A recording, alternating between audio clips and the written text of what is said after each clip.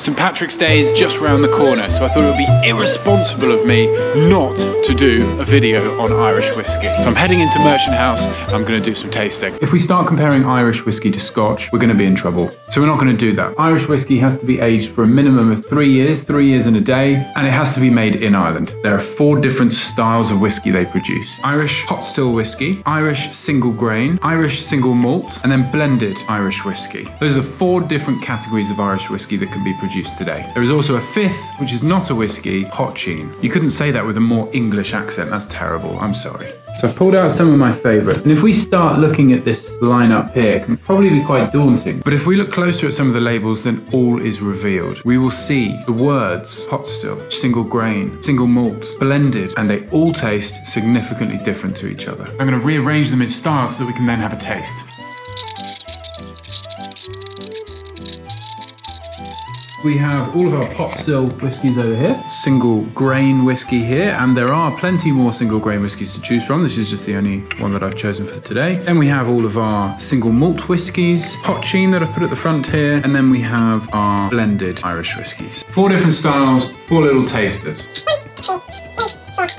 And then of course there's pot poteen as well.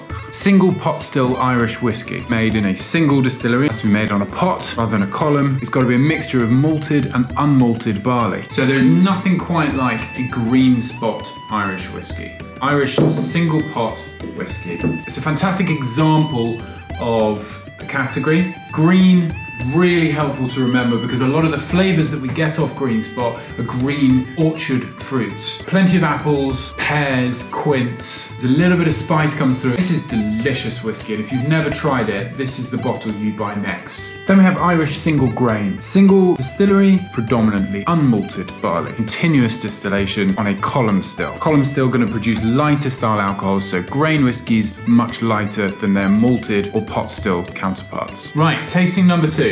We're to go over to Teeling, the Teeling distillery, and we're to have a little taste of their single grain. Lighter, drier, Beautiful nutty spiciness coming through on the finish, really lovely. Very delicate. We then have Irish single malt, 100% malted barley from one single distillery. Traditionally in Ireland, triple distilled, making it slightly lighter than Scotch comparatively. This is from the Boutique Whiskey Company and it is an independent bottling of whiskey from the Bushmills distillery. Single malt Irish whiskey. Oh, wow. That is delicious.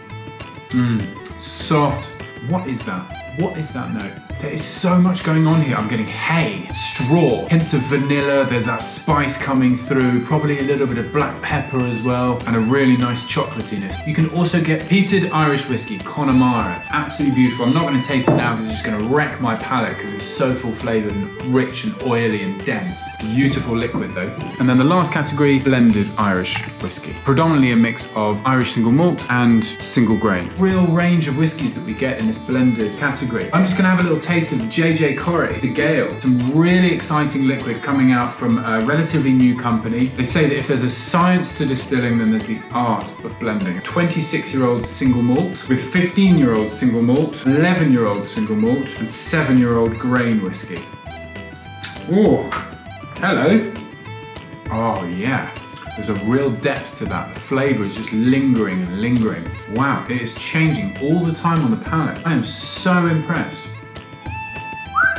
Lastly, we're going to have a little taste of some poteen. Not an Irish whiskey, but absolutely awesome liquid. Born poteen, born white. It is clear, no aging process here. The flavors are just out of this world. The herbal note, malty note, creamy notes.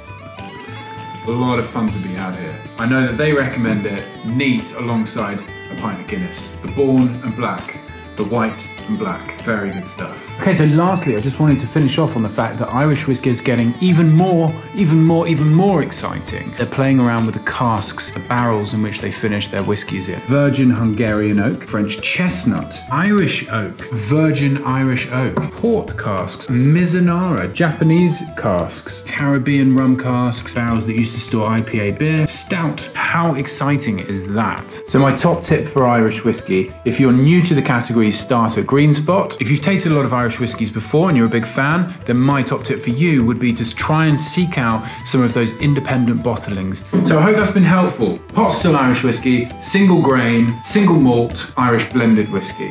Four different categories. Have a little taste of something from each and let me know what your thoughts are in the comments section below. Have a great St. Patrick's. Mhath, sláinte. Cheers.